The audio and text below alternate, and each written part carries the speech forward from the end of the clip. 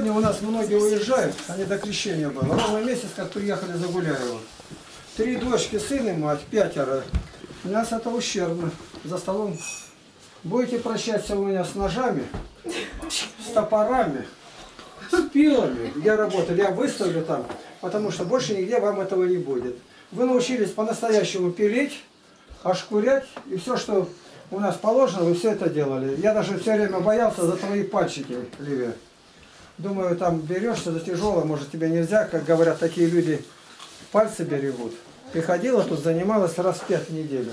Я сказал, сыграй любимые какие. Но я где-то проговорился, пятую симфонию Бетховена, она пришла, только сходу начала ее. Я-то попрошу, сыграй ее, а потом что попадет тебе, самое лучшее. Пожалуйста. Ты фотографируй лицо ее и пальчик, пальцы, никуда лишнее не води. А я Так. вам сейчас симфонию. Вот это место освободите для, для Владимира. Сядь. Наклоняйся туда, чтобы и пальцы видно было. Игнатий Тихонович, Да. я, я не сыграю симфонию. Ну сколько можешь. Первые хоть куплет. Ладно. Давай. Все. Ну ладно, все. У тебя нот нету их, да? Нет. Ну нету, просто потому что нету. Она бы сыграла. Объяви только произведение. А тут не по-русски написано. Воспоминания детства. Это на французском. Давай.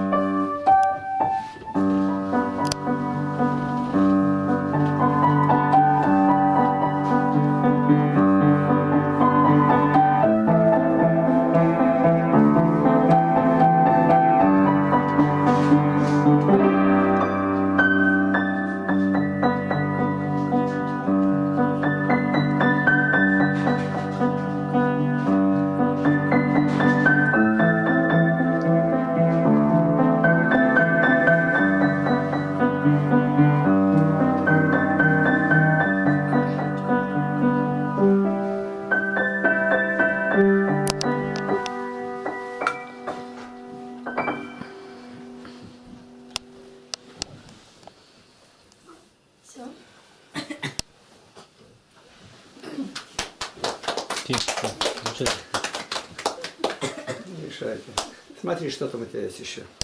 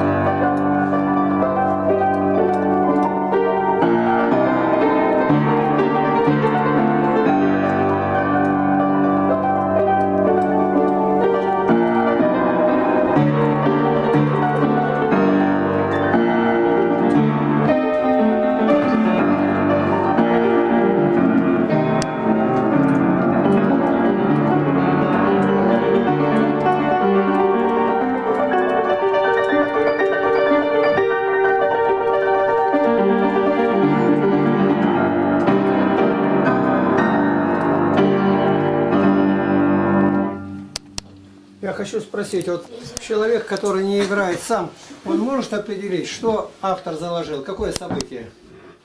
Можно? Можем. Вот я вот это бы, я понимаю, как, может, неправильно. Заговор. Вот уговаривает его, ему рисует чудовую картину, а тот, он не соглашается, тот снова показывает, тогда будет тебе еще хуже. Я хотел спросить, у вас э, есть или нет э, Скрябина что-нибудь? А Вагнера? Вот два, которых я знаю композитора, которых не рекомендует христианам слушать. Но один раз, я думаю, можно было прослушать. Вагнер был любимый композитор Адольфа Гитлера. Это поднимало ему настроение. Скрябин – это вестник смерти и связан с чистой силой. Это прямо как просматривается в его игре. Это я чужих слов говорю.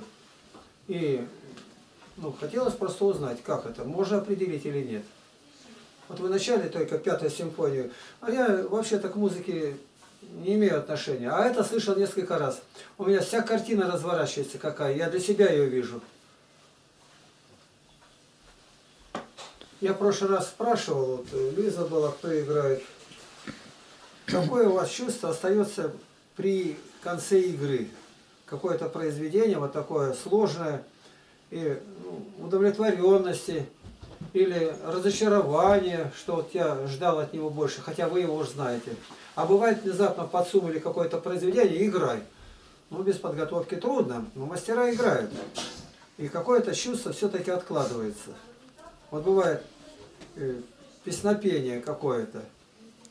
Ну, вы знаете, Анна Герман поет, один раз в год своди- цветы, это, ну, весной, весной люби один раз ждут, один лишь раз, всего лишь раз.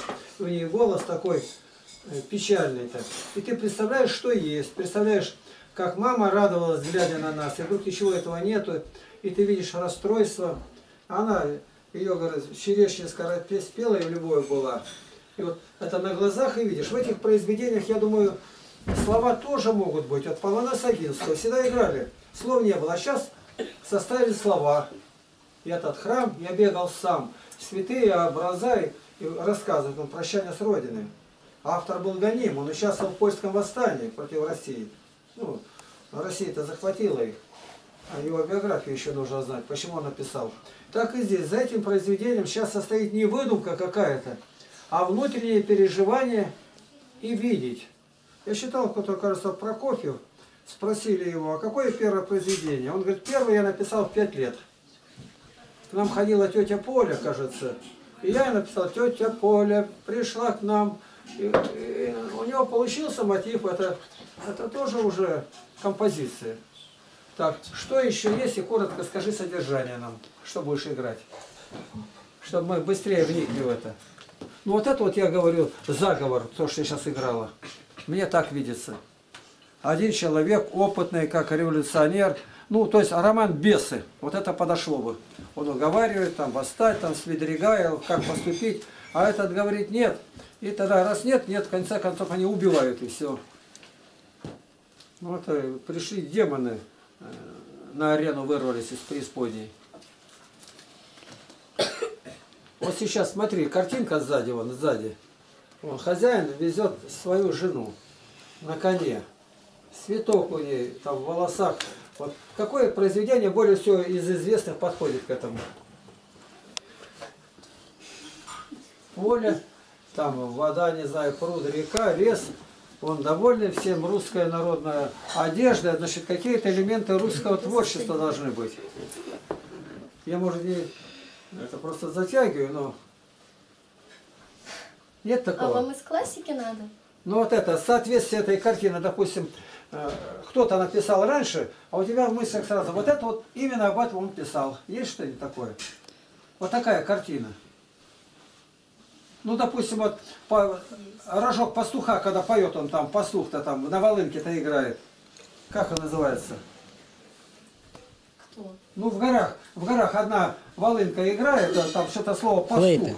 Одинокий пастух. Одинокий пастух. Нету? Где? У меня нет. Нет. Но там прямо покажу в горах, тут видишь, он на трубе, на это играет, там горы, облака, птицы, и в эту картину э, музыкальное произведение он вложил все. И вот которая сейчас еще сыграй одно и, и кратко скажи содержание ее, в чем? Ну, книгу можно сказать содержание, и произведение музыкальное, и художественное, вот, это тоже можно сказать. Что? Видно, что она не чужая. Конь смотрит вдаль, конь бодрый очень это. Он идет вполне довольный. Но она ног под собой не чувствует, потому что ноги висят у нее в воздухе. Ну, посмотри еще нет там для нас. Говорят, человека нельзя научить считать. Можно. И можно произведение музыкальное научиться понимать. Я считал музыканта. Конечно, не, не талант Хачатуряна. Слышала рассказ этот? Там преподаватель музыкальной этой школы говорит, у меня один ученик такой талантливый, я даже, говорит, не знаю, ну, еще не знаю. Ну, и кому там сказали, я не знаю, кто, Стравинский или кто-то. Ну, он говорит, давай его сюда. Ну, и пришли там хор, это, оркестр играет, там 10 скрипок, там гитары или что-то еще. Ну, и когда закончили играть, он говорит, ну и как играли? А этот мальчишка-то, мальчишка, там, может, в пятом классе, говорит, хорошо играли. Но пятая скрипка в третьем акте на полноты выше взяла, говорит. Пятая скрипка среди какофонии этих звуков, выражусь так, он заметил и говорит, а вот здесь, говорит, звук один, просто одно ля было пропущено даже, говорит, совсем. Я так ахнул, говорит. То есть композитор, маститый, и он понял, что это гений. Гениально. Но это будет Арам Хачатурян, сам композитор. Есть Тихон Хренников, многое написал. Я не понимаю этих авторов. Ну, хотел бы слышать. Посмотри, что еще есть такое. Может, сама что-то больше любишь. А потом мы коротко поделимся, кто что за этим произведением увидел.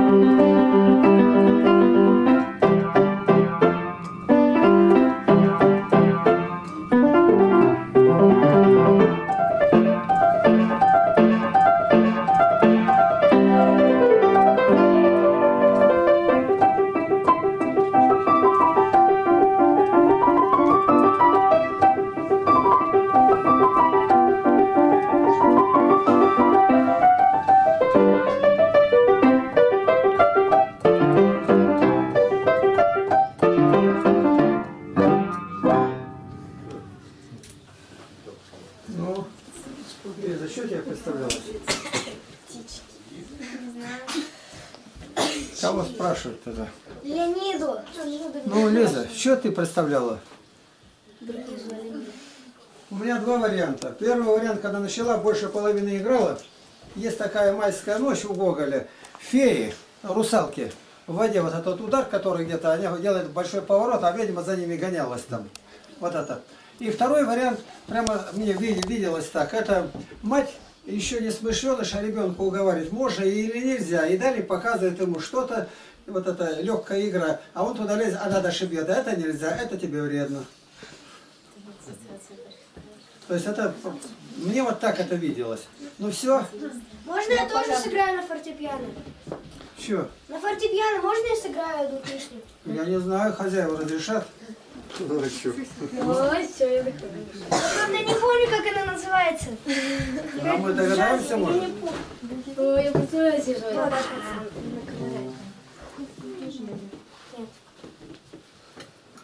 сижу. Игнатий,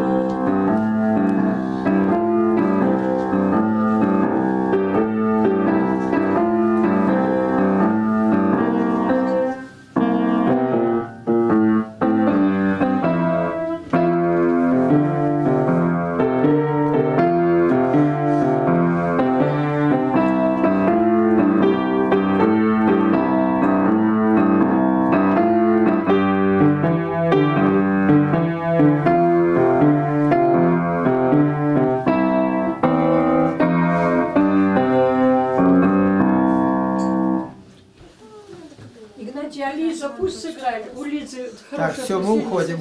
У Лизы. Мы просились немного, Володя, забирай, благодарим. Нам начнем, начнем записывать, которые люди среди крещения были, их биографии.